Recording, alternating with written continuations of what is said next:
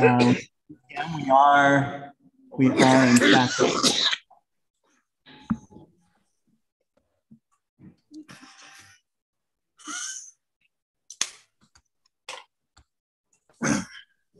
There we are.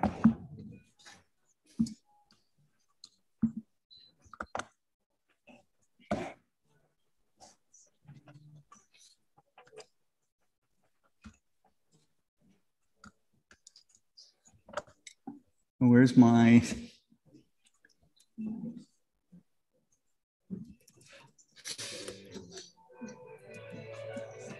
There we are. And there's David.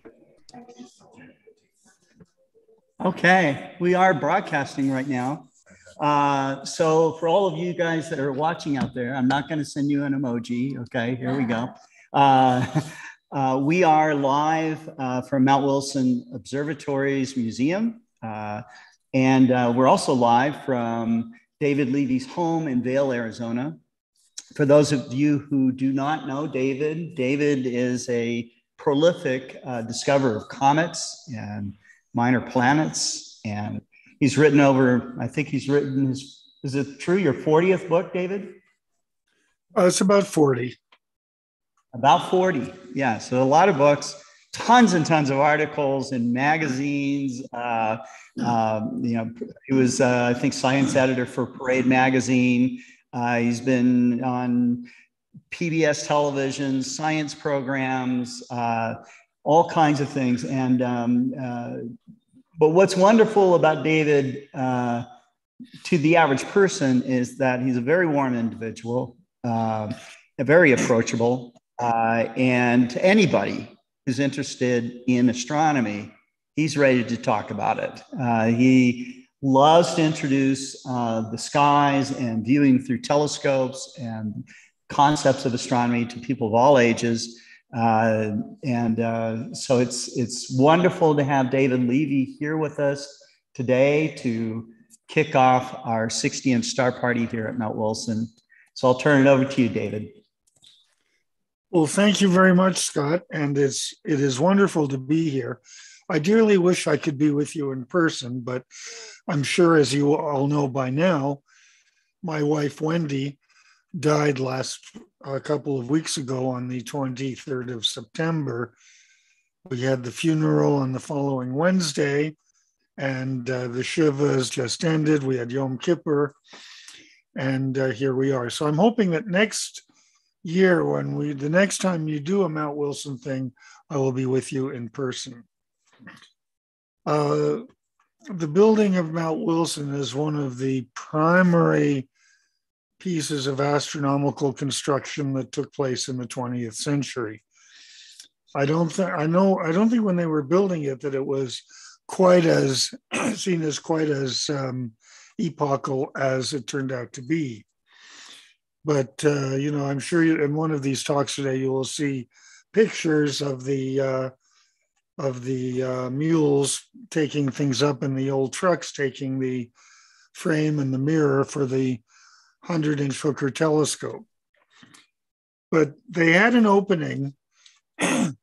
Actually, the 100 inch was the um, it was the largest telescope in the world at the time. Actually, it uh, follows, almost follows the uh, Lord Rosse telescope that was opened in the mid 19th century. I think that's something like a 70 something inch telescope in Ireland. And Lord Rosse used that to make his famous sketch of the Whirlpool galaxy that I believe was the inspiration for Vincent van Gogh's background in his famous Starry Night painting. And uh, those of you who are familiar with the with uh, the song Vincent by Don McLean, uh, that is one of the pieces that talks about Vincent van Gogh's life based on the Starry Night painting. Anyway, for a while, the uh, 70, I believe the 72 inch telescope at uh, the Dominion Astrophysical Observatory in Canada was for a two month period in 1918, I believe, the largest telescope on the planet. And then in the later spring of 1918, the 100 inch was open, and that became the largest telescope until Hale again, the 200 inch, and that became the largest telescope on the planet. anyway, they had a big opening, and uh, the evening the telescope was opened, and they decided to have first light on the um, telescope, and the image they got was absolutely useless. I mean, the star could not focus, it didn't do anything, and they were really very disappointed until I believe Hale himself said, you know, the, the building's been open all day, the roof is, dome has been open. Maybe the telescope just needs a little time to cool off.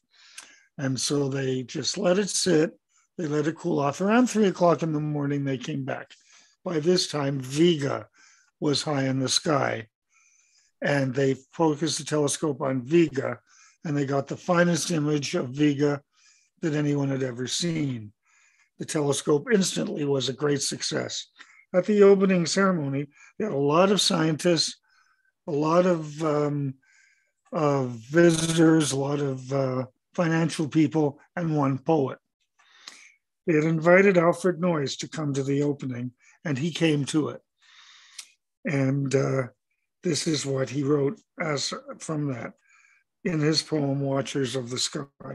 Tomorrow night, so wrote their chief, we try our great new telescope, the 100 inch. Your Milton's optic tube, which you might remember from Paradise Lost, has grown in power since Galileo, famous, blonde, blind, and old, talked with him in that prison of the sky. We creep to power by inches. Europe trusts her giant 40 still. Even tonight, our own old 60 has its work to do. And now our 100 inch. I hardly dare to think what this new muzzle of ours may find. And thank you, and back to you, Scotty. Thank you very much, David. Thank you. Any questions at all for uh, for David? No questions.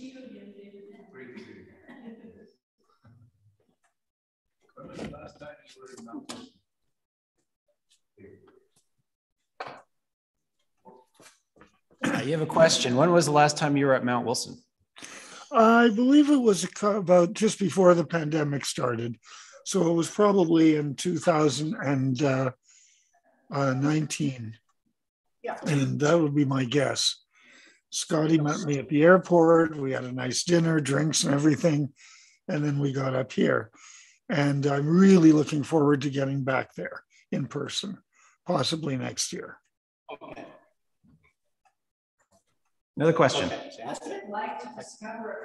Okay. The question is What's it like to discover a comet? That's a very good question. Uh, I think the best way of answering it is to tell you when I found my first comet in 1984. And uh, the what is it like? The answer is one field of view.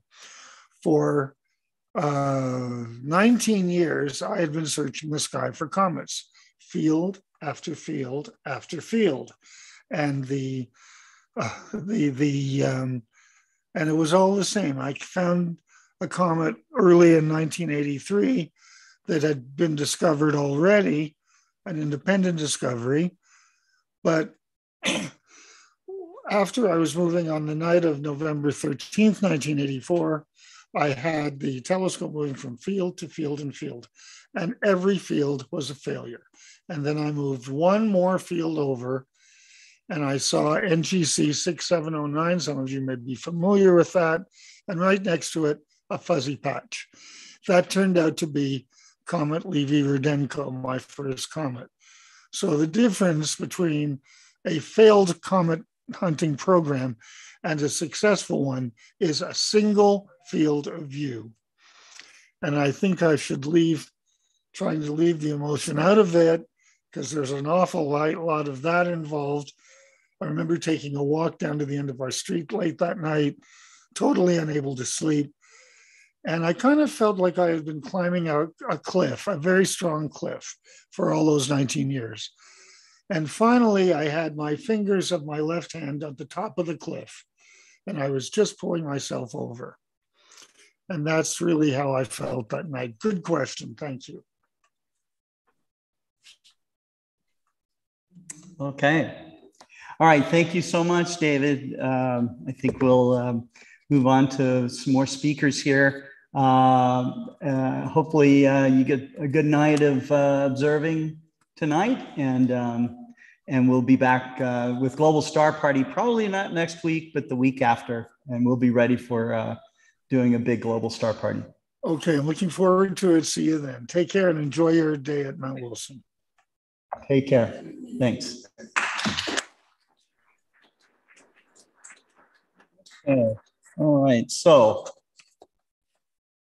since we have uh, Anshul Puri and Cameron Gillis here, I think you're all set, ready to go. Is that right?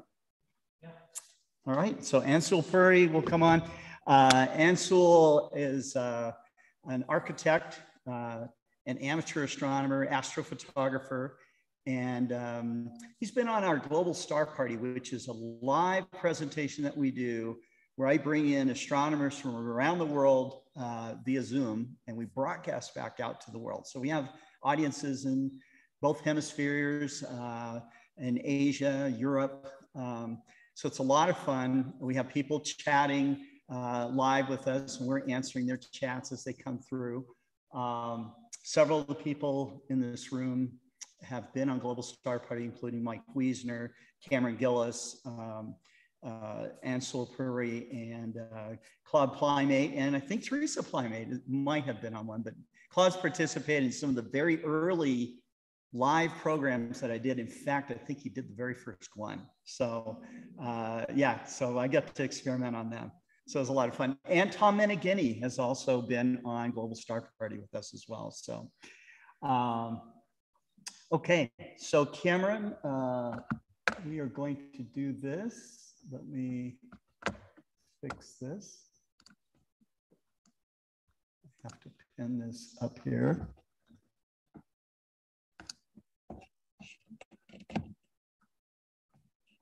Spot like that for everybody.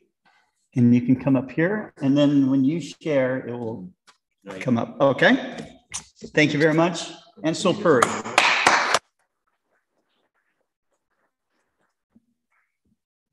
Thank you, Scott and Explore Scientific and everyone. You know, this is really a pleasure and just I'm very grateful to be here. This is a, a temple of astrophysics and, you know, just, just incredible to have the opportunity to present. So let me, you know, hopefully this is going to work. Uh, give me a second. By the way, before the night's done, you will all become Mount Wilson astronomers. yeah.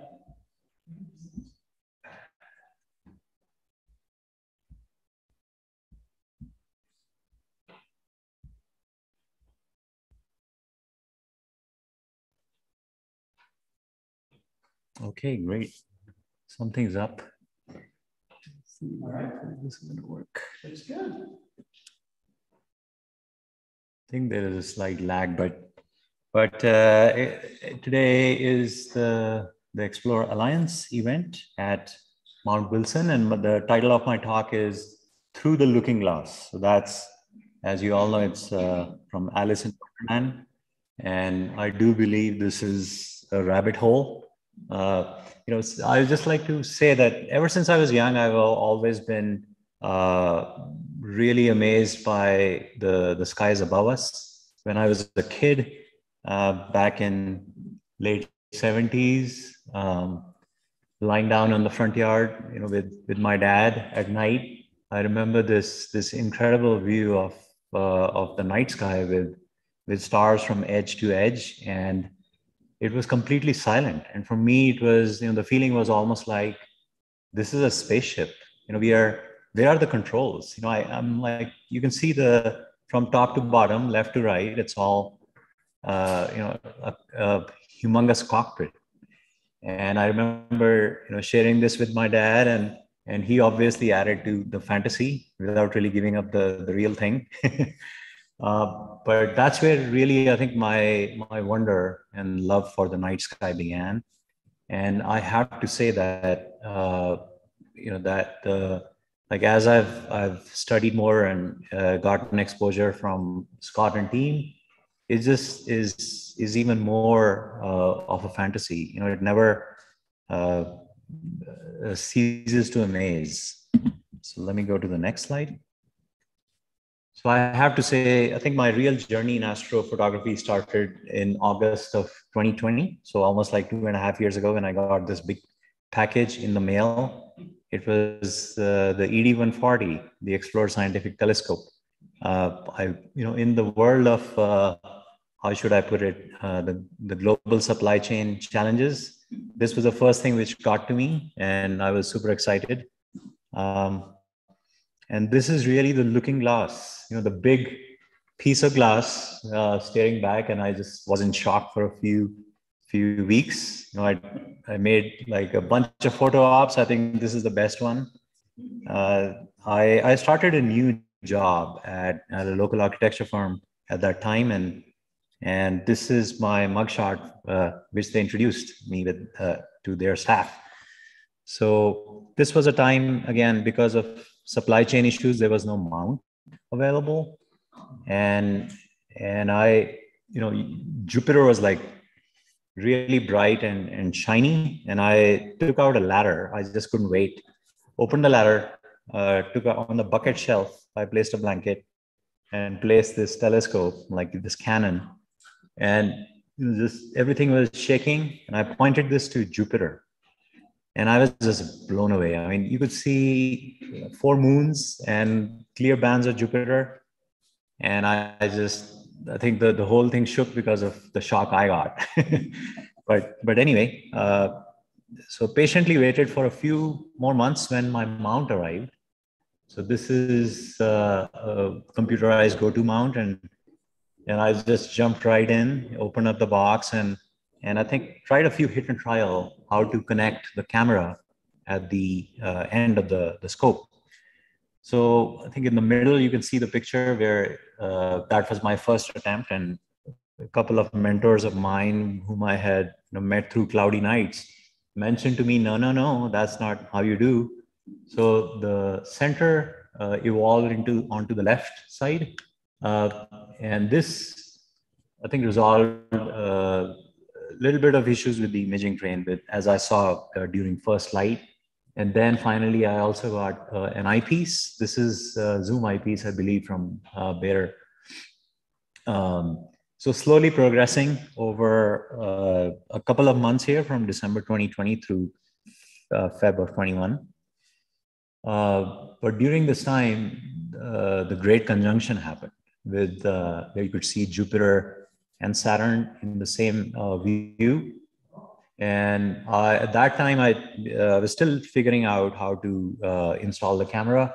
So I just pointed my cell phone, the, the smudgy uh, uh, camera of the cell phone, and got this shot. But the, I mean, what you saw through your eyes was actually much more powerful. They were almost like little earrings hanging in space, and uh, it's quite a sight. And then I uh, finally, I think, succeeded in getting the shot of, of the moon, a crescent moon, uh, through the, the my uh, color camera. It's a Canon EOS RA, which I purchased. So it's a mirrorless camera, and I was lucky to get the shot. This was, I think, pretty, probably about uh, uh, half a second or, or less. But this was my kind of my first light through the camera and then as, as I was uh, progressing and discovering more of, of the, the things to attach to the scope, I purchased a bino viewer. So this device here uh, to convert uh, mono vision into a stereo vision and pointed this to the moon and I just got blinded. You know, the, the sheer light of the moon was uh, a new discovery for me. And I, I heard something called, there's a uh, like a moon filter which I finally purchased like a like a Ray Ban in front of you know a shiny uh, surface.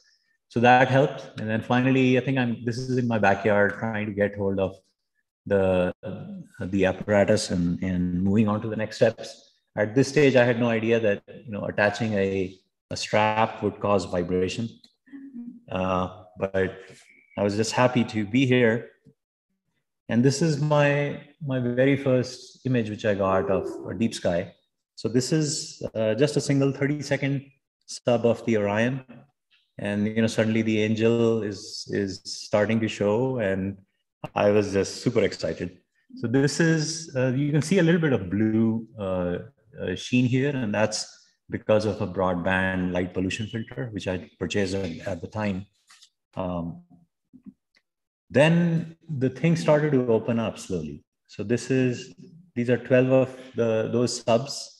And I uh, learned stacking at the time, like Deep Sky Stacker. Uh, this is a total of six minutes uh, uh integration time on the Orion. And at that time, I also had got in touch with a really uh, good astrophotographer. He's on the East Coast. His name is Jim. And Jim was instrumental in helping me sort of uh, you know go uh, on on the steps faster. Um, and this finally i think finally getting better. So this is like a 45 minute shot of orion. And i posted this to my office uh, page. And people are just falling left and right. Um, but really happy to be here. So this was in march of 21 uh, so a little over a year and a half uh, ago. And then finally, I'm progressing here with the, the scope attached to the mount. And by that, this time, I had learned how to do star alignment. Um, so I think I was doing three star alignment. Um, and also found uh, something called a cam ranger. It's kind of an intervalometer. Before this, I was just pressing the button on the camera and just running away, you know, 30 second lag. Uh, but but this gave me, gave me the ability of controlling this via a phone or an iPad. It creates a sort of an, a Wi-Fi signal. It attaches to the, the shoe of the camera, and it has all of the functions of a typical intervalometer. So this is in my backyard. Um, things are starting to look up for me. I bought a small uh, uh, power bank, um, and on my way so a few things I learned just going into a few technical steps here. So Cam Ranger, as I just mentioned, I was trying to starting to get a good polar alignment through the polar scope. Was not really using a pole master or any other device at that time. I was not doing any guiding, was not doing any dithering, and there was no autofocus. I was just using my hand to focus and not really using any darks. I mean, these, these concepts are completely alien to me and April of 21. Um,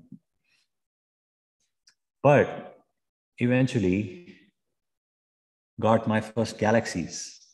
So this was also in April. And on the left, you see Whirlpool, which I believe is 25 million light years away. And uh, the needle on the right side, which is about 30 or 50 million, I believe, 50 million light years.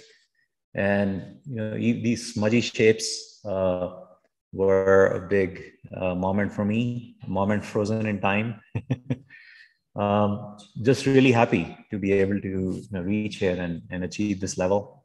Uh, from a light polluted uh, middle of LA city, Bortle 8 or 9 um, uh, environment.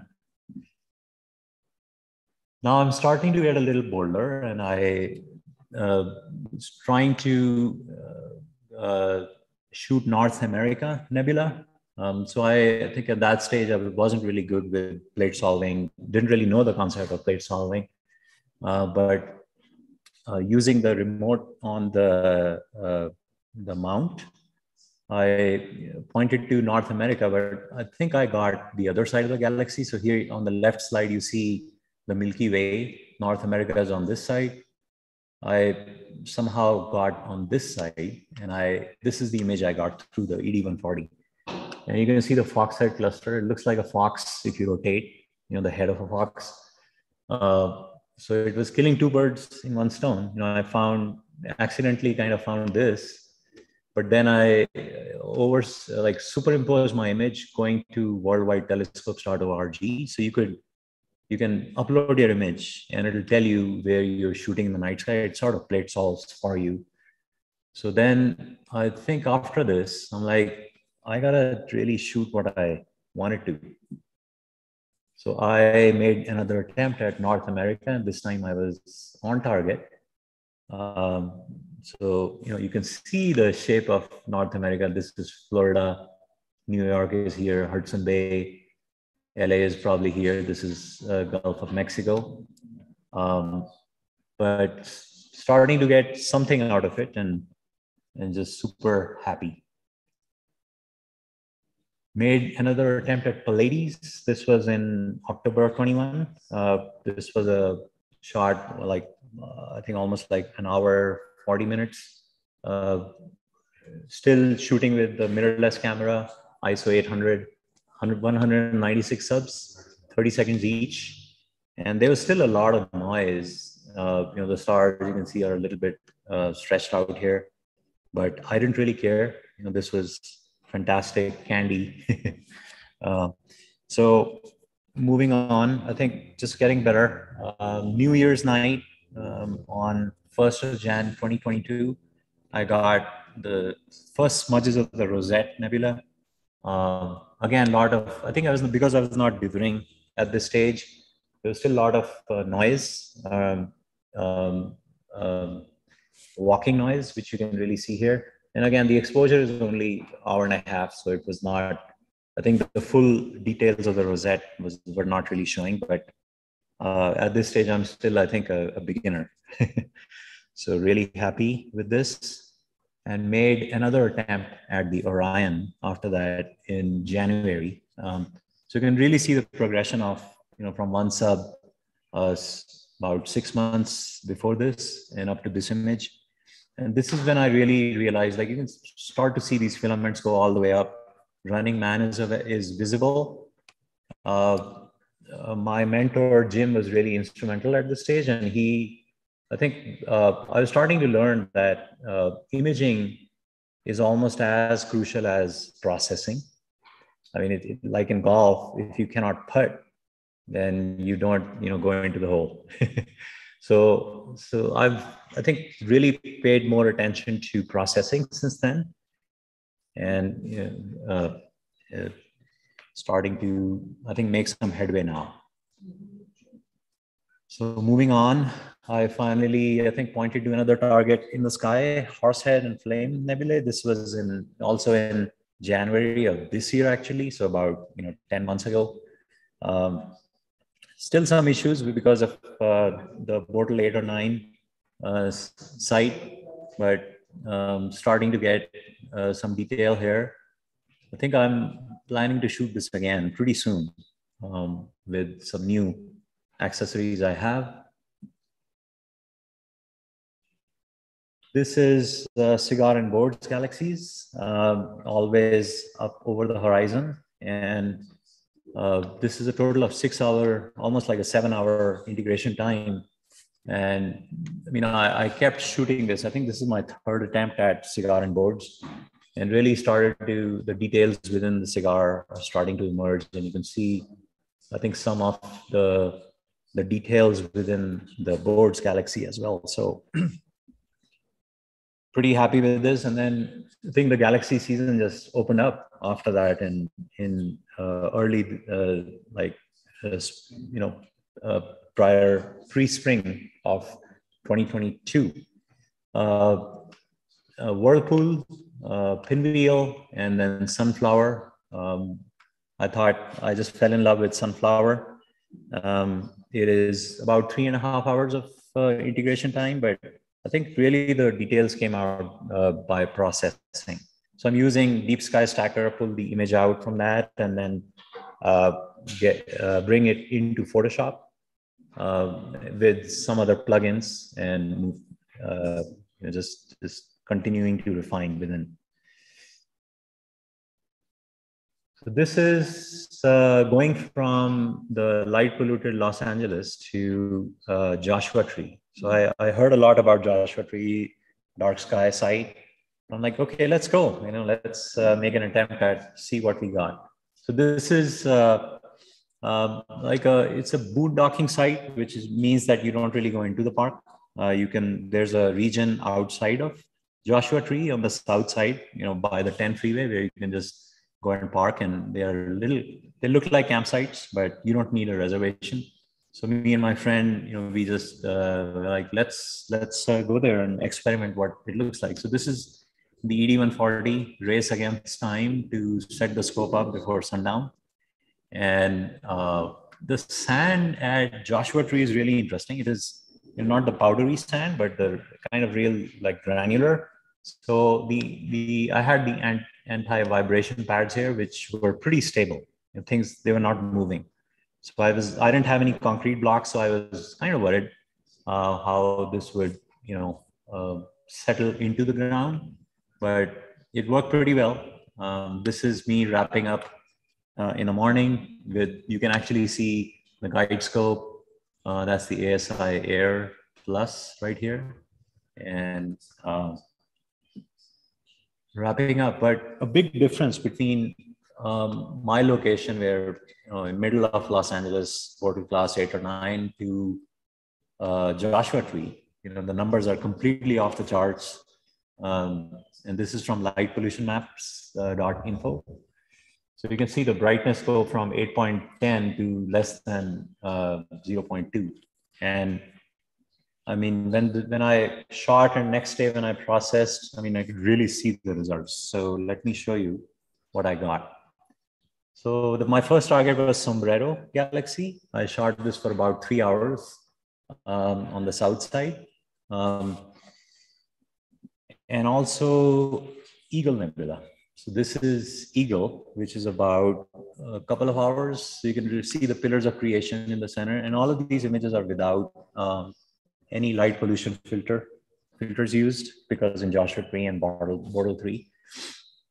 Um, so really super happy with this. Um, but um, so just a quick uh, technical rundown here, vignetting disappeared completely because there was no light pollution.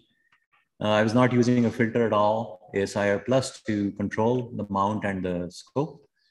Uh, guiding, I was I achieved pretty well at my level, which is 0.8 arc seconds. I think these days I'm at about 0.4 or 0.3, which is pretty substantial improvement. Uh, happy with, with that and I was dithering at the time. So dithering took care of the walking noise. Uh, every five uh, frames, I had uh, procured uh, an automatic focuser, which sort of fo- focuses automatically for you, connected to the ASI Air Plus. Uh, the mount was stable, as I just shared. There was a slight breeze for about four to five miles an hour, but it it was it was a great experience. Really spoiled after this experience so decided to go back to joshua tree in, in three months or actually three weeks.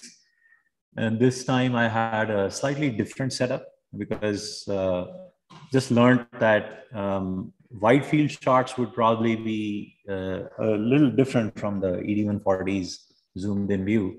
So i had a, that time a, um, a red cat 51 um, william optics connected to the same mount and there's a camera in the back, uh, the guide scope, the guide camera. This is the road into the uh, Cottonwood campground, which is the, the darkest campground in Joshua Tree. This is about, I think, Bortle, Bortle 3. Um, and this is a sunset as I'm waiting for, you know, after setting up the scope um, to do the imaging. And some of the results which I got,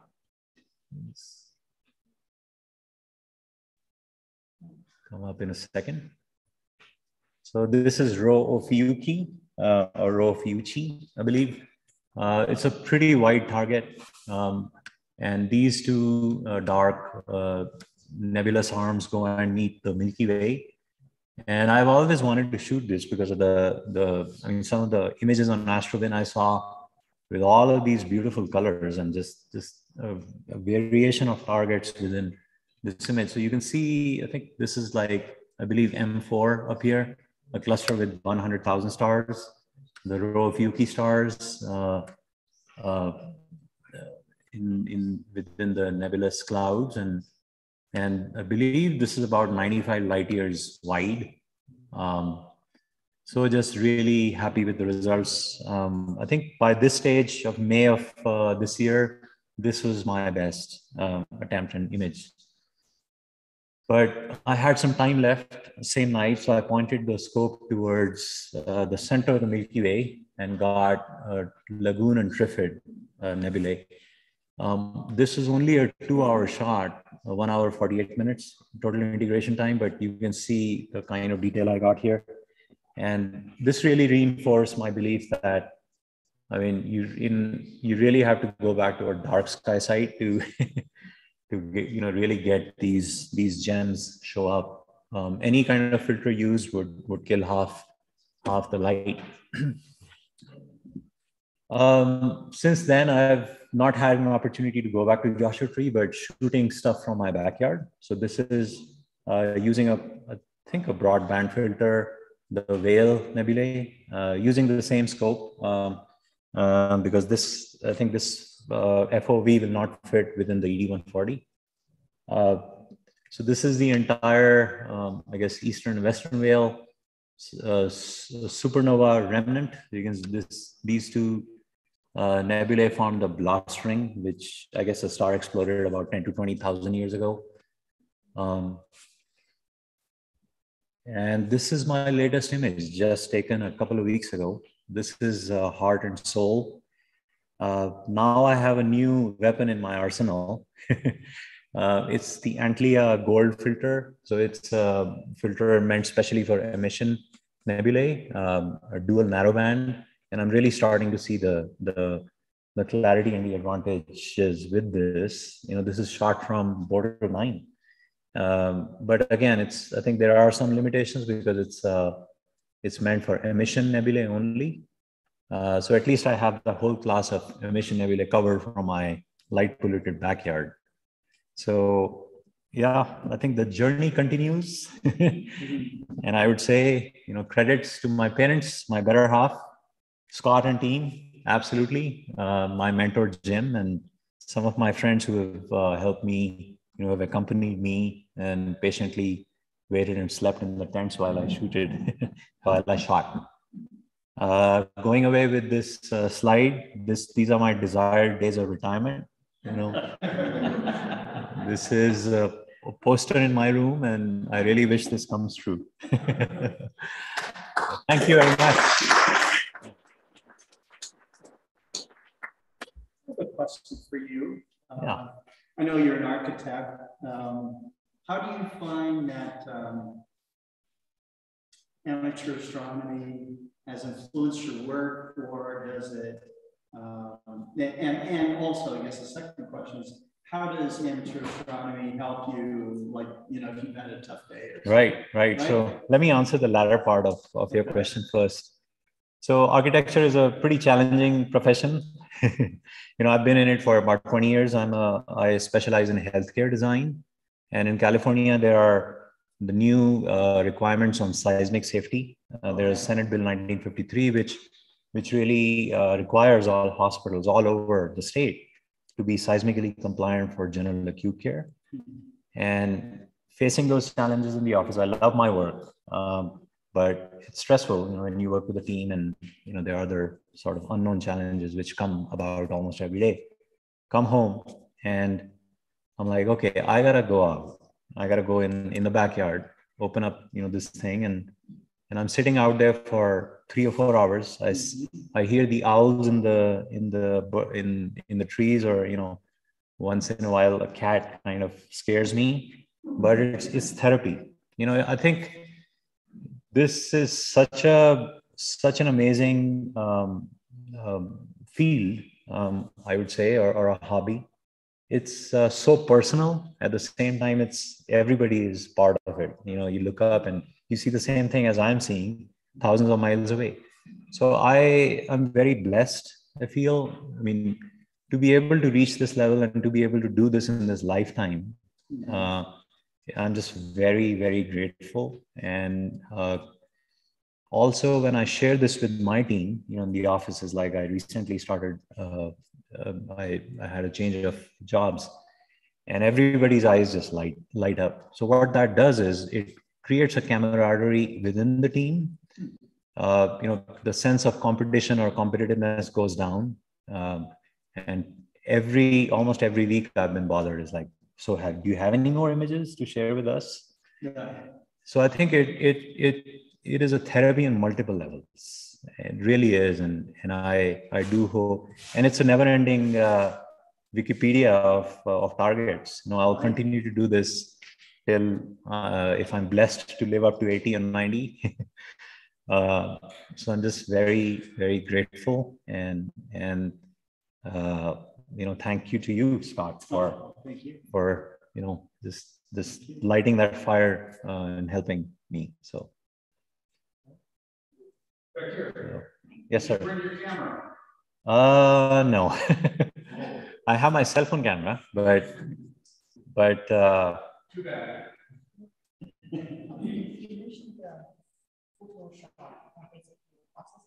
Right. What are your recommendations and what is the best option? Um, you know, I personally have only known Photoshop. I know there are you know, a bunch of other uh, softwares out there. Uh, I have used Photoshop quite a bit um, in my profession earlier, so I think it helped. But some of the tips and tricks which I continue to learn, I have. Uh, I think some folks have had a sort of a one uh, one shot uh, uh, license, but I have a subscription, like monthly subscription of Photoshop, which is, I think yearly it's about 120 for the Adobe suite, which is pretty okay. It's like, well, 10 bucks a month. And that does is it, they continue to add tools, they send you sort of tutorials. But the I think in a nutshell, what I would say is Deep Sky Stacker, you have a 200 or let's say 171 or 200 megabyte image processed in or stacked. You bring it in, you just do your color balance to you know get all the colors together, and then play with levels. Basically, you just shrink the level so that you just have the the peak, and continue to do that many many many steps. But I do feel there are some plugins which really help. You know, the Astro the Annie's Astro Tools is a big one, uh, which really helps in I think enhancing DSO and and reducing stars and and bunch of other uh, I think uh, uh tools to reduce noise. Um, there are some other uh, plugins which um, help with uh, enhancing the image. The, the rasterization effect becomes more smooth. So I use them definitely but it's just um how should i explain it it's like i think at the end of the day it's like a potter playing with clay with time you know it's a, it's a craftsmanship you know you you tend to i guess polish and refine over time and and i'm still a still in the very beginning stages. So um so yeah. But thank you for the yes ma'am.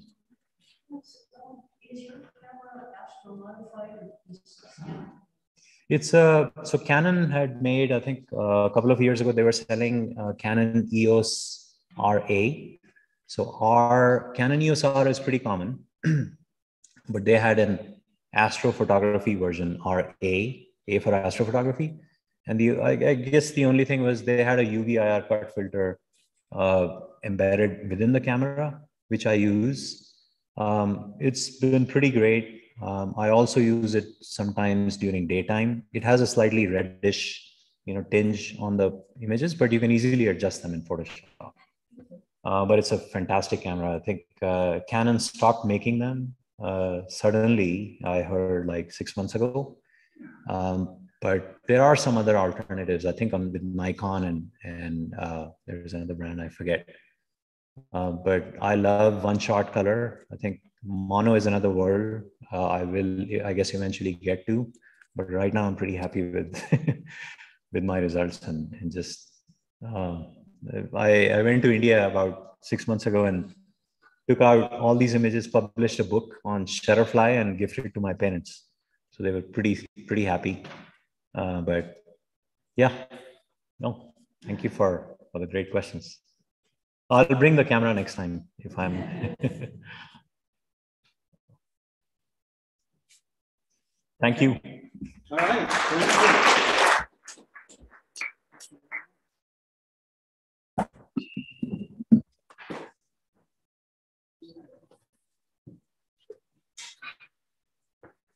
So up next is Cameron Gillis, and Cameron did a series on our program. I think he did like 80 programs, something like that, uh, called uh, Camstronomy.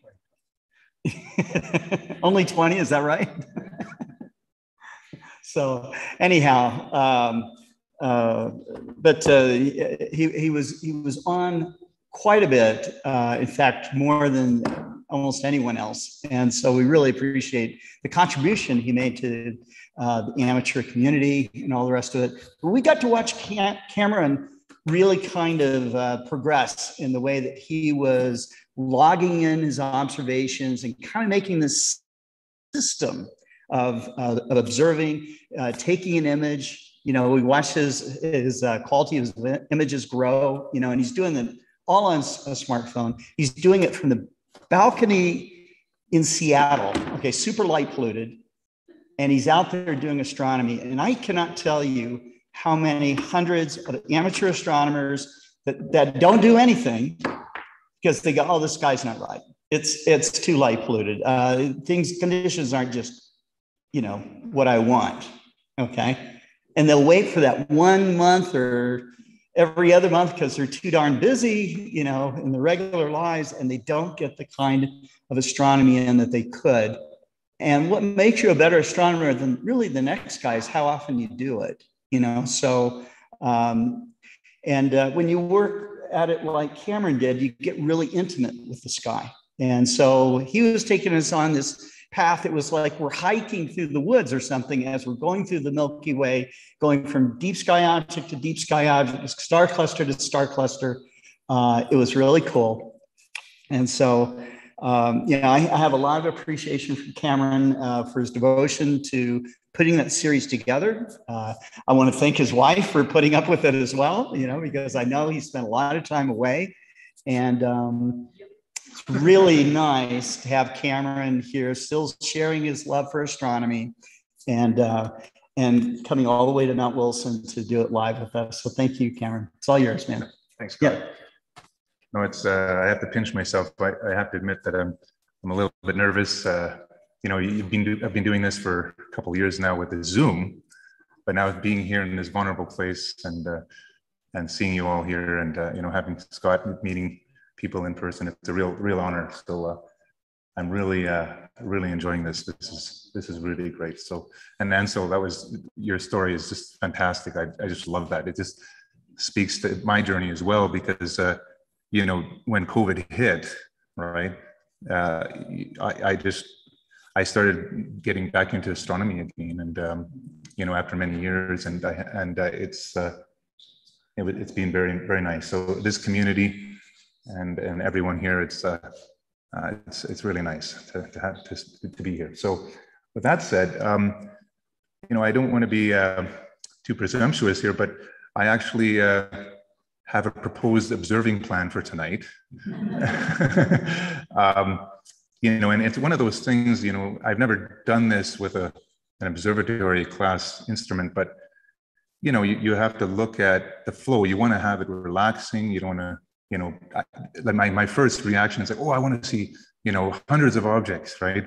Uh, and um, and I would love to just swing that scope around, but you have to think about settling time. Everyone wants some time with the IP, so you want to really uh, drink it in. So I've, I've I have a plan here, which um, is only talking about ten objects for tonight, giving us you know good half an hour.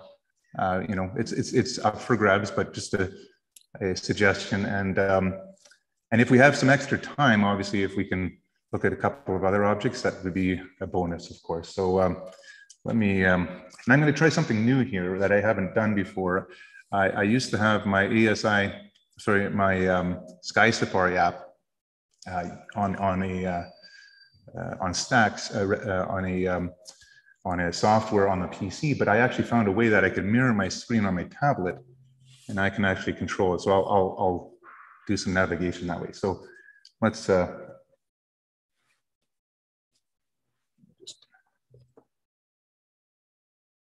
so here's the um, kind of the overview. And so this is at uh, at 11:30 uh, at night, where Jupiter's close to op opposition, and uh, you know the Moon is right there as well. So this is basically a summary. You know, we start off actually with Pluto, and then work our way to uh, to Mars uh, uh, in in the early morning. And basically, I was able to Sky I cannot say enough about Sky I think that really, you know, when I got back into, into astronomy uh, again um, a couple years ago. Uh, this app was in Prime, and uh, I'll tell you, it's really changed the whole workflow and and the enjoyment. So, so I was able to come up with with a proposal here. we're definitely going to see all the outer planets. So, starting Pluto, Saturn, and then it happens to be the Saturn Nebula right beside it. So it's like, why not, right? And um, then we have M15, uh, we've got to have a globular cluster. I, when you look at the scale, uh, the eyepiece image scale, it's like, wow, it's going to fill the entire field of view. It's going to be incredible. I, am looking forward to that. Uh, then we have Stephan's quintet. I figured, you know, with Webb, uh, you know, that Webb image with, uh, even though we have full moonlight, I think with the, with the 60 inch, uh, you should still be able to pick it out. and then Andromeda. Andromeda, of course, because of the history of this play uh, of Mount Wilson, um, that's where that Cepheid variable was. So we'll see if we can uh, get zoomed in into that particular part of Andromeda. And then, uh, then we come back down.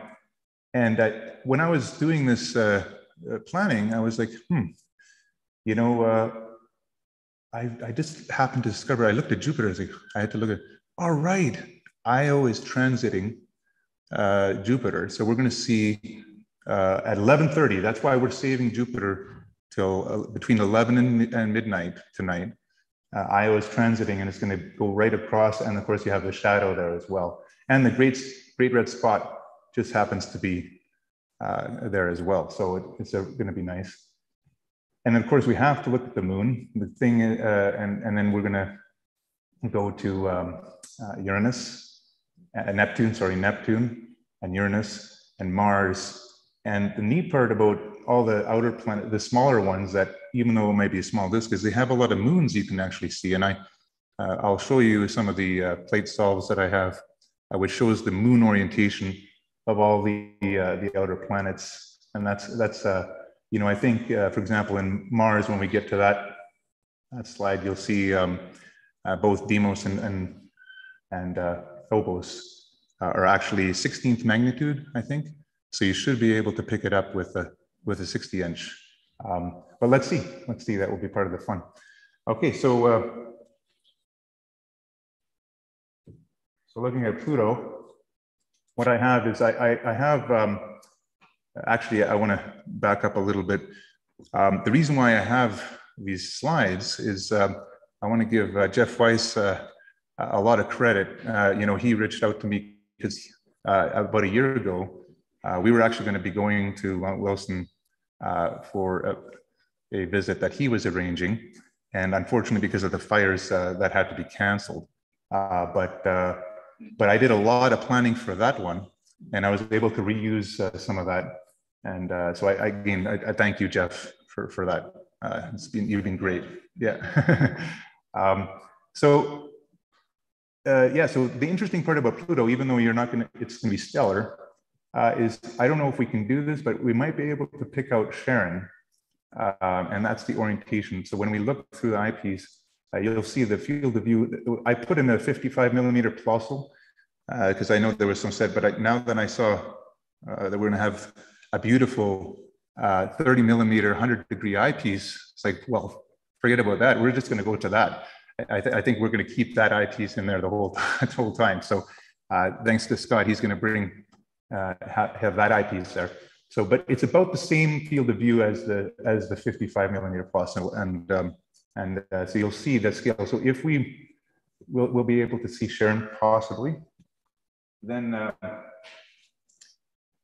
uh, Saturn is going to be beautiful. Oh my gosh. I mean, uh, you're going to see all the, the moons and we'll be able to identify them with this. When we're actually at the eyepiece, I'll have my, my tablet so we can, you know, we can uh, identify them and do some visual ident.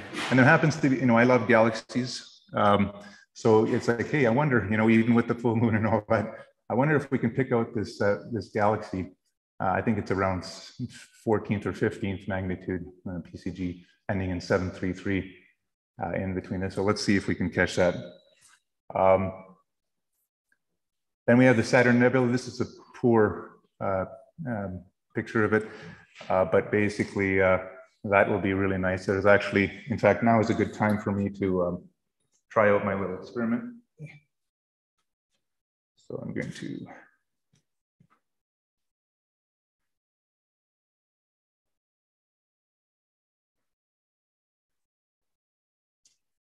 So what you can do for those, so what I'm doing, is this is actually good uh, for, for anyone out there who wants to use your tablet and then just uh, screen image uh, if you have Sky Safari and have it in running in native mode on your tablet.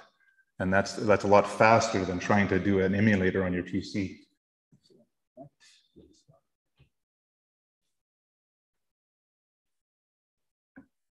Cross our fingers here. And just tested it out. What is the name of that? It's just, it's an actually Windows app. It's, it, you just type in the search, just type in connect and that's it. So that's what's really nice about it. You don't have to do anything fancy with it. There we go. So now the beauty is, as you can see, it, it works, it's very responsive, right? And uh, so now I can zoom in. So let's go actually, we were, we were at Saturn Nebula here. Yeah, there's a little bit of a delay, of course. But basically, if we look at that guy, this, this is more what we're going to probably see uh, tonight. Um, I'm looking forward to seeing that with the central star and some of the structure around the ansae uh, of Saturn Nebula. So that would be fun, the namesake. So now let's go back to slides. And you think that the 3100 is going to look similar to what you mapped out with the 50 Plössl? Yes, in fact, let me jump ahead. Let me use I have to disconnect here. Give me a second. I'll answer that question this way. So we go And then, hmm, what happened here?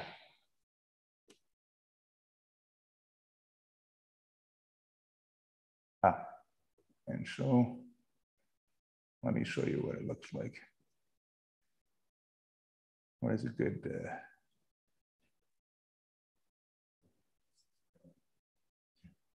Oh, so here's, here's the original one I had from last year. So let me answer. I'm going to actually answer it live. Let me put this in presentation. So this is, each of these rings represents, uh, and this is with the proper focal length. At, at, at the time, I, I had the, the rounded numbers for the focal length and the aperture at 2400 and, and oh, sorry, at, at uh, 1500 and 2400 respectively. But then I since found that, you know, that's actually uh, is actually a more, there's a more accurate numbers that Scott shared. So this is what I had before. In fact, sorry, I'm jumping around a little bit, but I'm gonna, the best way to do this.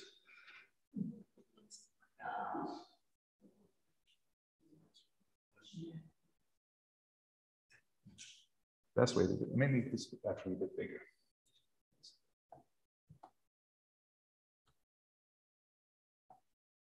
Make this full screen. All right. I'm to do it natively on the uh, ASI Air, so, or sorry, on the uh, Sky Safari. So that's what I love about this, uh, you know, the, the new era of presenting is, you know, there's the rough around the edges live, you know, I'm, uh, okay, so here we go. So now we can see, now what I do is, let me show you, if I look at my, my equipment, here's Mount Wilson. So you can add this and uh, there's the actual aperture. Did I get it right? 1524 and 24384. That's the actual uh, correct numbers. So I, you put that in, and then you can add the uh, Explore Scientific 100 degree um, eyepiece. And that gives you, and then what you can do is you can match that. And then if you go to observe scope display, you go all the way down. So here, here's what you can do. And you can see the field of view is 0.12 degrees. Magnitude, magnification, this is amazing, 812. And, and uh, you know, I exit pupil of 1.9 millimeter.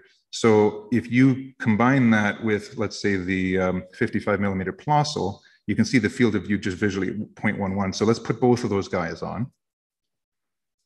And you can see, right, they're very, very similar, right? So in fact, in fact, the, uh, the 100 degrees wider at twice the magnification, right? Almost twice the magnification. It has a wider field of view than the, the 55 millimeter, millimeter Plössl. So it's really when you have a, a, tool like the Sky Safari, it's it's so fun.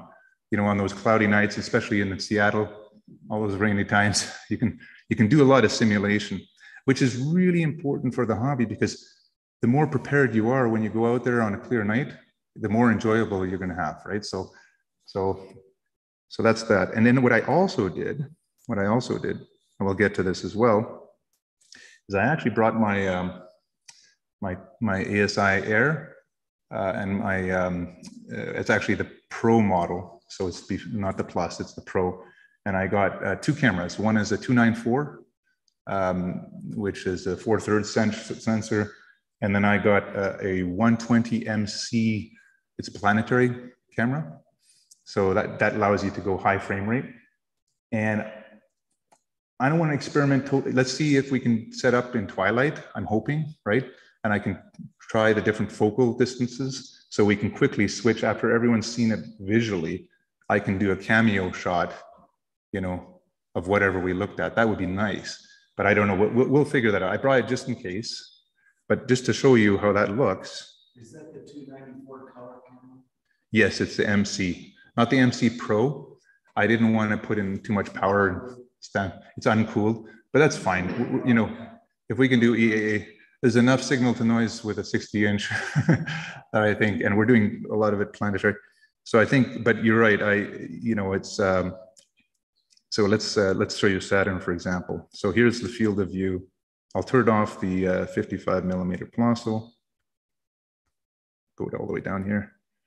And then I also added the uh, 294. Uh, here's the 120. It's not the mini, but it's, uh, I got the, the colored one. Um, and then I also have, where is it? Where's my 60 inch? No, no, no, no. Where did it go? Oh, here it is. Thank you. Yeah, so there's the 294. So now we're going to overlay. So this is what you got. So look at the, the visually, we're going to have an absolutely beautiful wide field view with the round circle. That's going to be a visual field, field of view. And then when we switch to, if we switch to uh, the, the cameras, the 294 is going to be mainly used for deep sky and stuff, but for the planetary, you can see, look at this, it just frames, it's going to be massive. So I don't know, I, I think the tracking is going to be totally awesome. We're going to see tons of atmospheric wavering, but it, it should be fun. Let's, let's see. Um, so then getting back to the slides, did that answer your question? My boss always tells me I talk too much give too long of an explanation, but let's go Is back. that Saturn nebula similar to uh, M57 in size? Ah, let me answer that with slides. So I don't want to take you too far off the path. No, no, that's- this- this- this is actually totally meant to be interactive. Uh, so right here. Oh, what happened? Click on that. Click. There we go. So the, the dumbbell nebula, so I'm going to answer it a different way. So the ring nebula is, is that size, the dumbbell nebula is there. And then, and then the Saturn nebula is about the same, same size as the ring nebula. Okay. Yeah, so, so, so you'll see. So you can imagine, you know, if we have time, again, wouldn't you love to see the dumbbell nebula fill your 100 degree eyepiece? I mean, and then we'll, we'll, we'll, we'll so let's, uh, we'll get there. So, so let's uh, let's continue.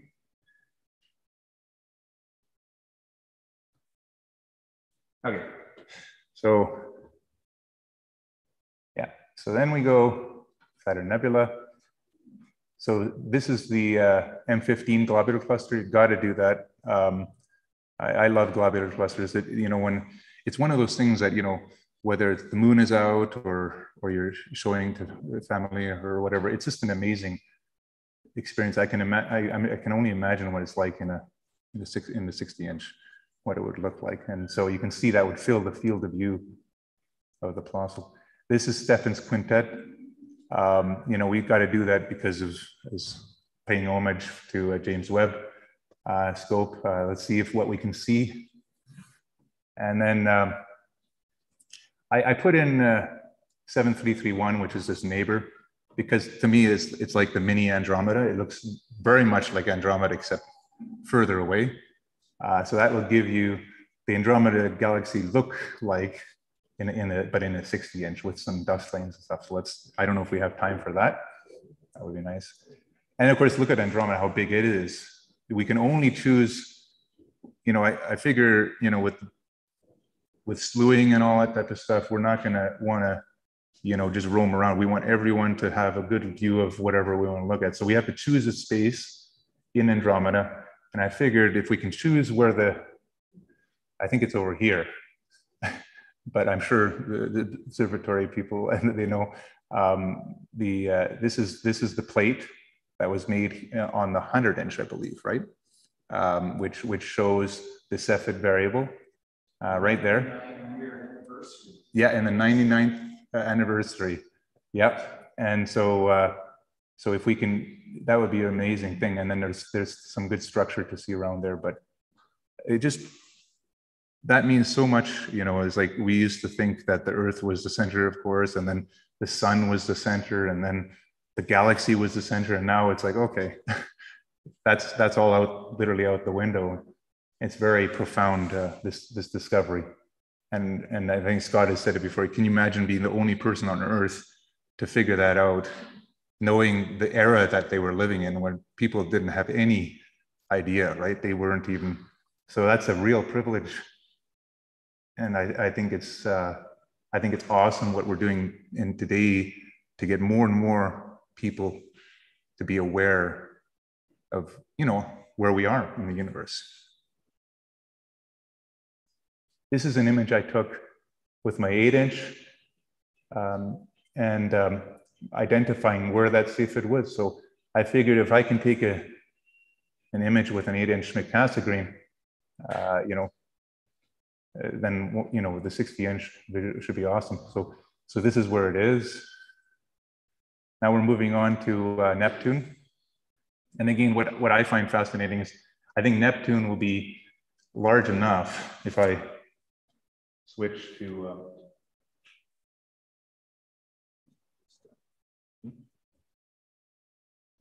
show you.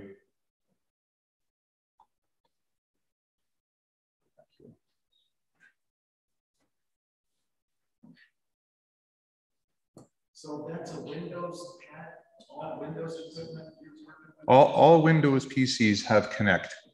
Yeah, so you just type in Connect from the search menu, bang, it comes up with this thing. And then literally, if you've done, uh, if you have Chromecast at home or whatever, uh, you, you, you do, when you cast the PC, you end up with, uh, uh, you just go Smart View or whatever, and you can actually, this is, and then it just casts the screen. So now if I go to Neptune, zoom back out. Okay. So now what you see with Neptune, it's, it's, it's one of the, it's very far out there. So, but if you keep on zooming in here, you can actually see as a disk. So it's uh, magnitude 7.8, just beyond visual.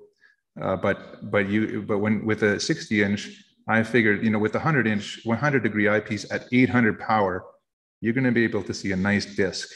And then you're going to see Triton, uh, its moon, just to the, uh, the north of it. So that'll be fun.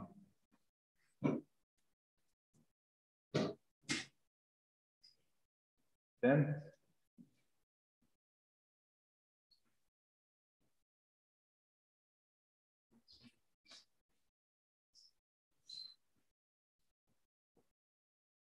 Oops. now we have the king of the planets, Jupiter. And like I said, I, I discovered that at 11:30 is probably the optimum time to, to observe it and giving everyone a good, you know, couple minutes to, to look at this. But if you zoom in, I found out this is what it's going to be at 11:30, smack in the middle. You're going to see the great red, red spot. So it's just the great red spot is just going to move over. So by probably about midnight, it only has a 10-hour rotation, right? So by midnight, the red side, red red spot is gone, and then Io is going to be passed. But you're going to see the this transit. So this will be this will be something I think that will be really neat to see. And you can see if we zoom back out with the uh, with this field of view, it's going to be quite quite large. And then uh, black circle is that Io's shadow. That's the shadow. And think about it actually. Now think about the geometry, what's going on here. Uh, Jupiter is in opposition, okay, almost. And if it was 100% opposition, the shadow should be actually directly behind the moon, right? So what's happening is it's a little bit off opposition because now you see how close the shadow is to where the moon is, right? So that, that that's why you're able to see it. So this is perfect because if it was at optimization op, op, opposition, you would probably wouldn't see it. yeah. Oh, you would see it on the side. Yeah, probably. So the, the moon, this white spot here, yes, um, Io is right there. That is actually, and because of its contrast with the, uh, the, the equatorial belts, we should be able to see it even as a disk. So I'm, I'm excited about that. Let's see. I don't know if I'm setting the wrong expectations. You guys tell me, but let's let's see. I have a, I have a dumb question. Those little three storms you see at the lower, three spots. Yes. Are they still the, the remnants of the Shoemaker levy? Well, I, I, yeah, actually, that's an interesting thing. Um, I had a six-inch reflector at the time, Newtonian, when when Shoemaker Levy um, impacted Jupiter, and I, I had just got good enough to use, learn how to use it that I was able to observe it with my myself, and that was absolutely astounding to see those blemishes, right? Those big black spots hitting. Uh, but anyway, to answer your question, yeah, I, I think obviously that, that, they're long gone, but you could actually see them, and then you could see them also get, get shrunk over time. So, yeah. So then, now we have uh, Uranus. Uh, I like the way the Spanish pronounced it, so we don't have all the jokes and stuff. Uranus, yeah, that's that's a nice way to say it. so uh, Uranus, um, it basically you can see all of its moon, and because Uranus is on its side, all the moons are circulating like around it, and, and so that's that's really neat. So we should be able to see that. And then finally Mars, at the end of the night, uh, I was I was like, yeah, you could probably see the moons, possibly. I, I don't know. Uh, they're 16th magnitude, and uh, Mars is, you know, it's still a ways away from opposition, but it's, it should be nice and big enough. So we'll, we'll be enjoying that. So,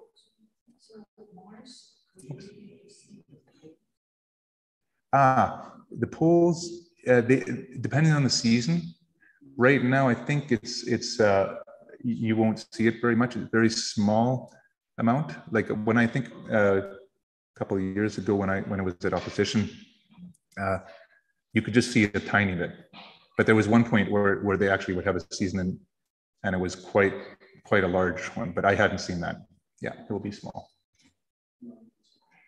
And then I have a couple of. Uh, uh, you know, you notice one thing that's obviously missing is the moon.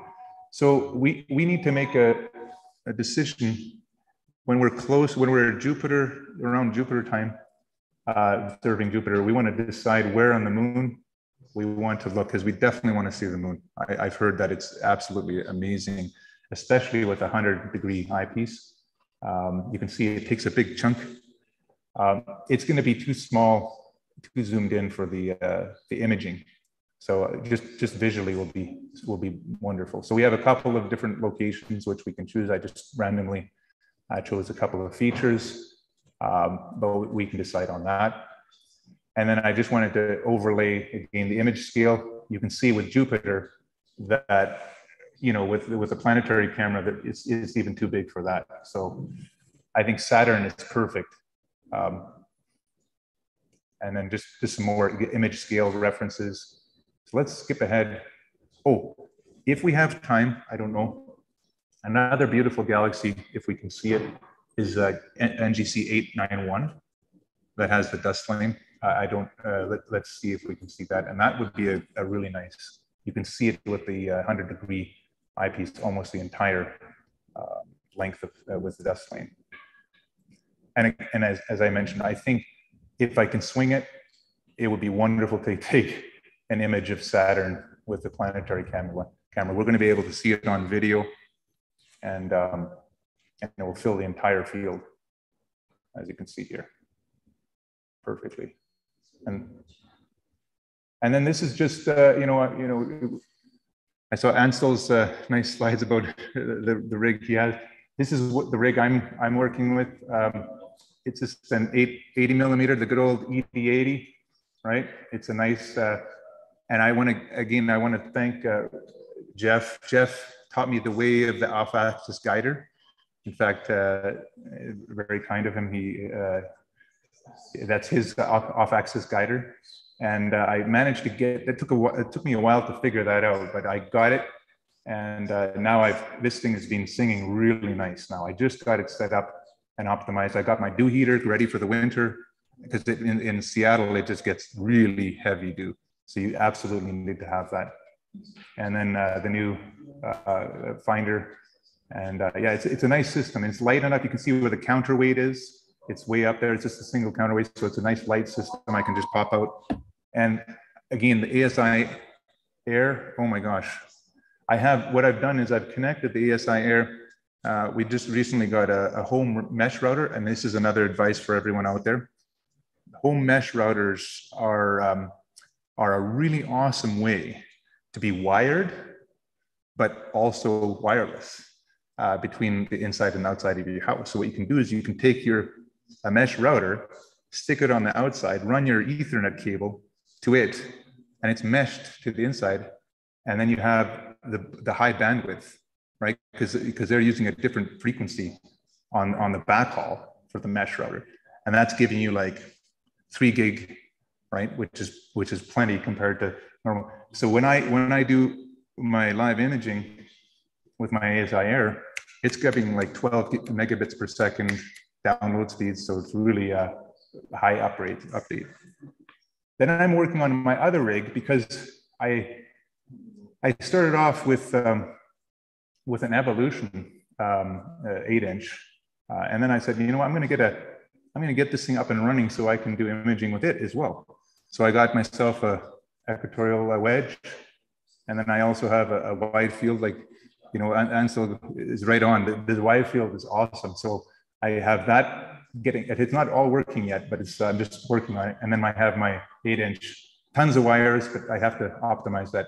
So um, so that's why uh, it's taking while, but I ultimately want to do a, a deep, uh, deep sky survey with on all the galaxies, but I also want to do wide field uh, as well uh, on the constellation level. So that's basically it. So I went around, did a lot of stuff. So any questions or?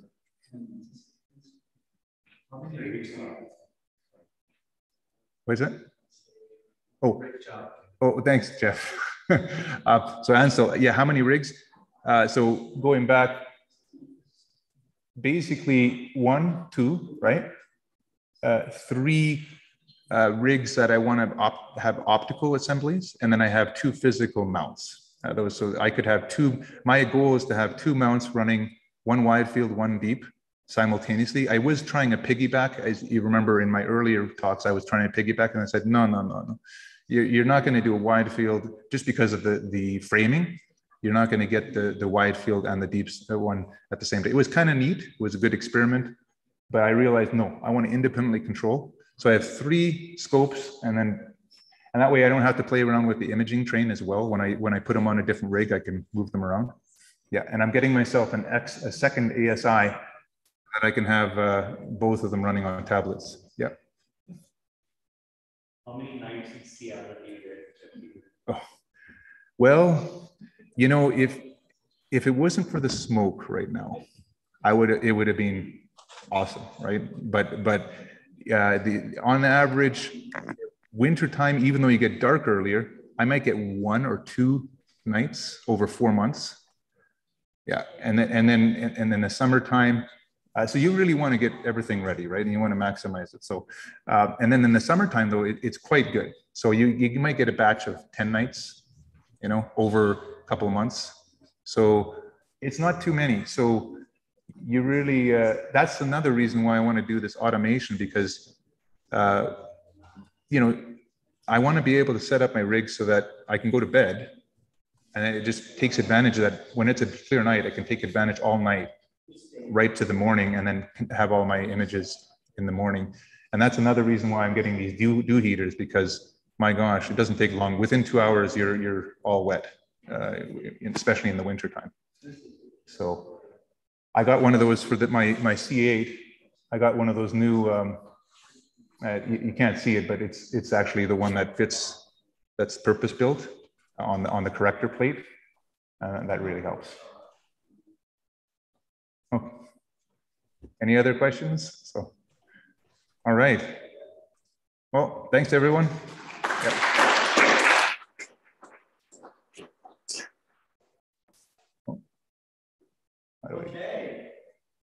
Okay. Well, we've got meal ordered, okay, and uh, we're going to go get it. But uh, not a surprise for you. So um, Chris, is, Chris Burns is going to uh, get a donut first. Yep. and uh, we're going to follow Chris out onto the observatory area, and we're going to wait for our scientists to show up. And, uh, and I think you're going to like uh, what's coming up. So, okay, let's break. Take them to the 100 inch and look around. Okay, you know. just looking around, waiting for sandwiches. Yeah.